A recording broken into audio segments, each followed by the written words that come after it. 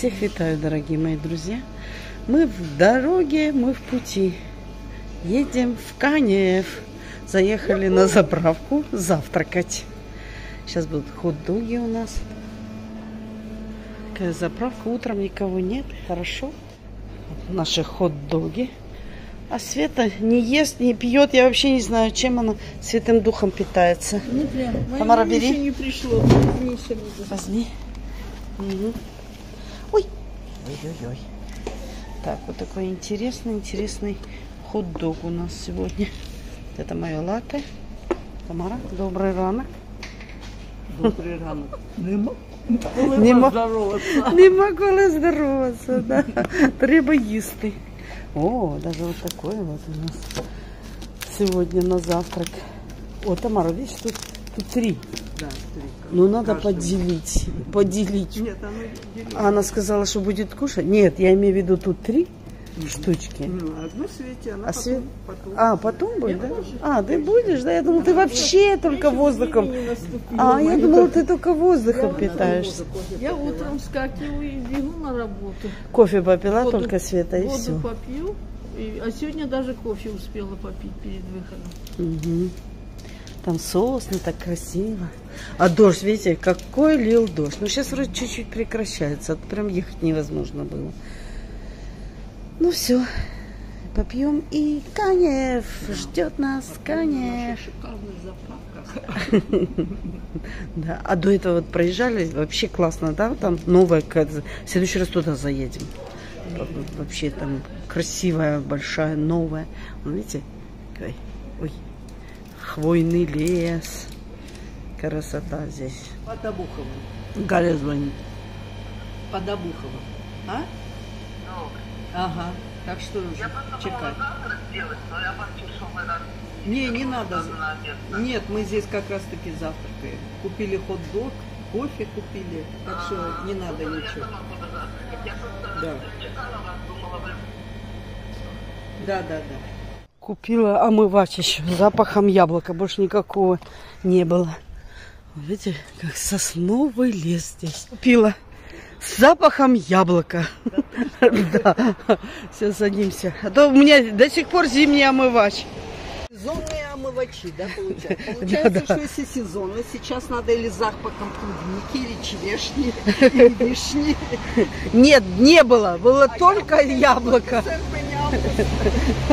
Было только яблоко и все.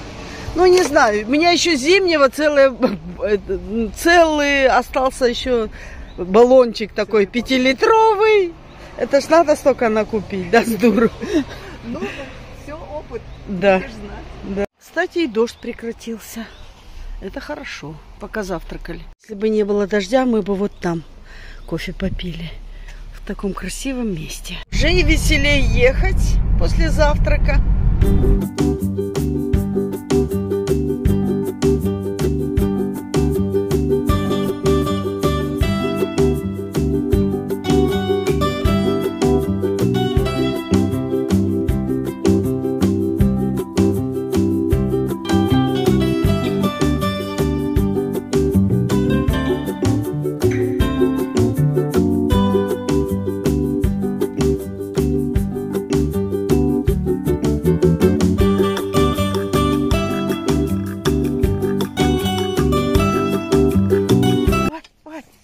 Вай, Вай, Вай.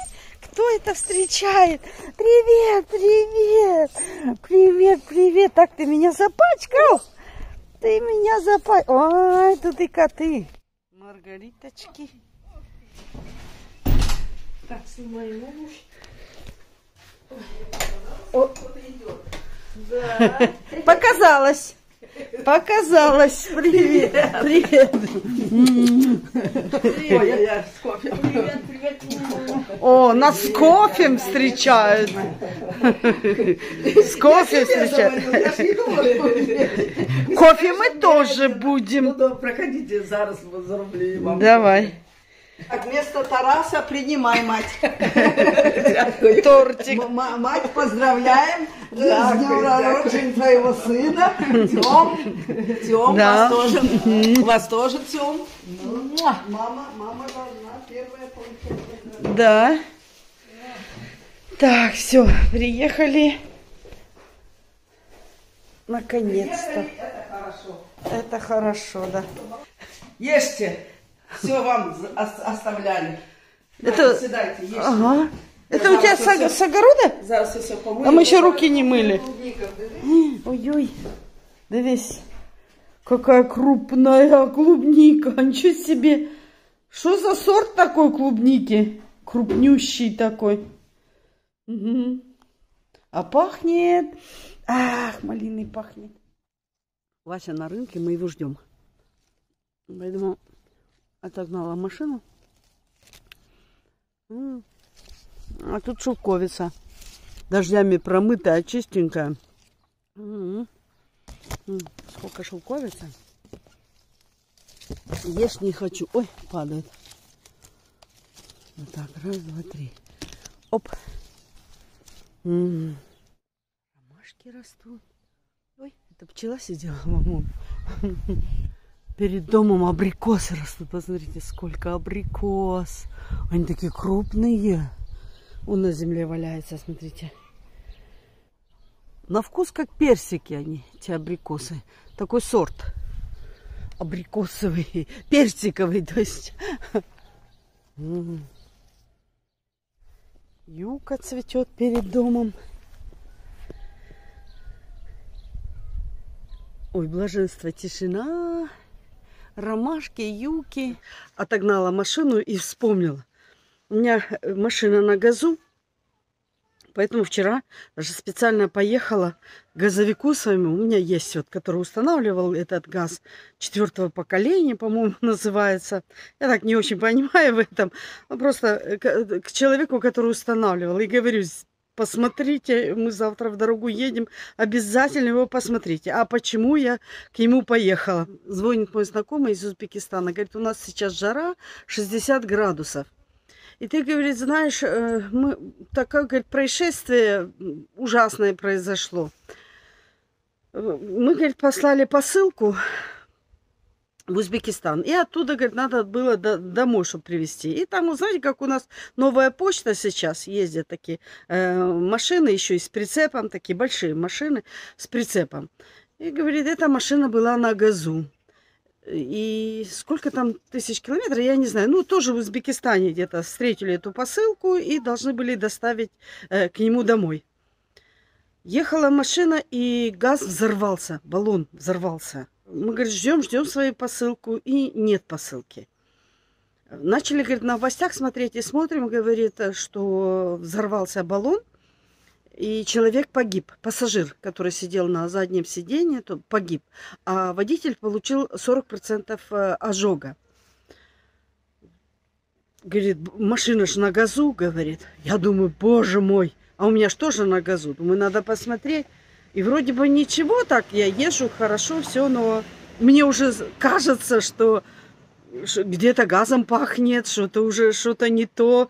И, и думаю, нет, надо обязательно заехать. Вчера было воскресенье, я звоню своему вот э, газовику, Сереге, говорю, Серега, э, надо срочно проверить, что с газом. Он говорит, а что с ним? Потому что я, ж, э, помните, я вам показывала, недавно только заезжала, там 10 тысяч или сколько там нужно проехать. Он мне говорит, сколько километраж проехать, и к нему приехать проверяться. И я записала эти цифры, и как только вижу, что там про- пробег прошел, и к нему приезжаю, и он мне все-все-все проверяет, весь газ. От начала и до конца. Я, я говорю, Сережа, он говорит, еще же у тебя вроде бы, мы же недавно проверяли, что ты, говорит, я говорю, Сережа, не знаю, вроде пахнет газом, посмотри, пожалуйста. Приезжаю к нему, говорю, а он, у меня вообще-то я сегодня не работаю, ну ладно, говорит, как для постоянных клиентов, я выйду, говорит, на работу. И вчера мы с ним встретились, я ему рассказываю это происшествие, говорю, Сережа, вот так и так получилось, и как так э, могло получиться? Он говорит, ну, во-первых, говорит, э, когда устанавливают газ, там есть такой клапан, который не дает, э, это у нас четвертого поколения, что он не дает полностью залиться этому газу. И тогда, когда э, газ расширяется, то ну, заливают в этом, заливают на заправке не до конца. этот газ, заполня, заполняет газ не до конца. И когда, например, жарко, оно объем газа увеличивается и не взрывается газ. А если газ э, нету этого клапана, газ полный, а еще если жара, оно еще говорит, может это во-первых. О, Вася приехал. Привет, Вася. Привет, привет. Открыл ворота, сейчас заедет, потом поздороваемся с ним. Это, говорит, во-первых. А во-вторых, надо же, говорит, смотреть техобслуживание проходить, смотреть, э, как э, ну, вот трубы, все, все ли они там нормально укреплены, ну, это там много рассказывал, ну, это же его профессионально, так он знает там. Говорит, надо было вот так, а он говорит, видимо, не смотрел, или они заполнили, а жара 60 градусов, э, ты посмотри, кошки, собаки лезут прям под колеса. И, и, Дэн, иди сюда, что ты там делаешь? Привет! Побазарувал? Побазарувал. Так, нормально побазарувал? Да, нормально. Продал абрикос весь. Ага. Штамбики что-то не пошли. Ух ты, роза штамбовая. Да расскажу уже вам. Вот такой вот страшный случай произошел в Узбекистане вот недавно, буквально вот несколько дней назад. И э, я приехала, говорю, давай смотри, Серега, потому что пусть не будет ни первого, ни второго, ни третьего случая, давай посмотри. Он мне посмотрел, говорит, ну если, я говорю, кондиционер включай, мне кажется, что пахнет газом. Он посмотрел впереди и говорит, ты знаешь, может быть, давай заменим эти трубы, э, может, э, шланг на толще шланг. Хотя, говорит, я не вижу, чтобы у тебя там э, что-то такое было. Ну, заменил вчера эти шланги мне. Так что все проверил. С этой машиной просто. И, и зато сегодня ехала спокойно.